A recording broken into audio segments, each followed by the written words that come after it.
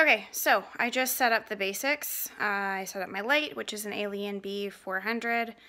So many people have the Einstein. I just can't afford it right now. Um, but honestly, I am happy with the results that I get. Um, I just have a PVC pipe that my, that my husband um, melted so that it's round. And that's my beanbag stand. I have a homemade beanbag. Um, it's fine not a big deal.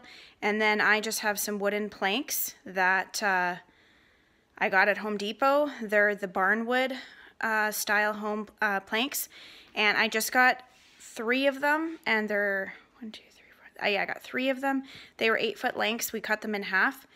And so now I have six boards and that's all you need if you use a 50 millimeter lens. Okay, so I have an underlay for a carpet. So this is the living room here. And I've got my basic necessities. I've got some fabric. I've got my um, 86 inch PLM.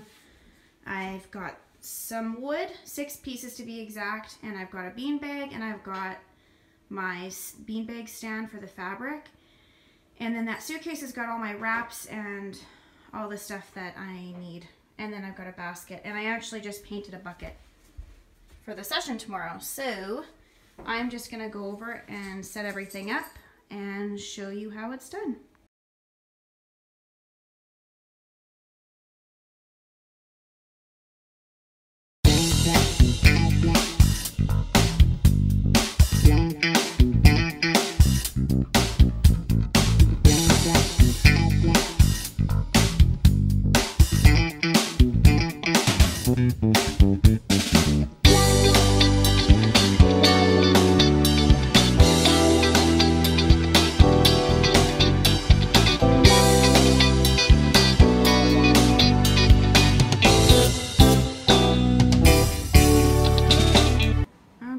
So blinds are closed.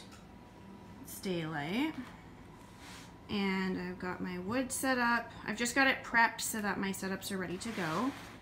And I've got the pink Flokati to start. I did my custom white balance with just the back of my reflector. Okay. And I've got my lights set up. See how it's blocking the window light? So I'm not gonna have any um, mixed lighting. It looks a lot brighter in uh, video than it does in real life. And this is just the living room setup.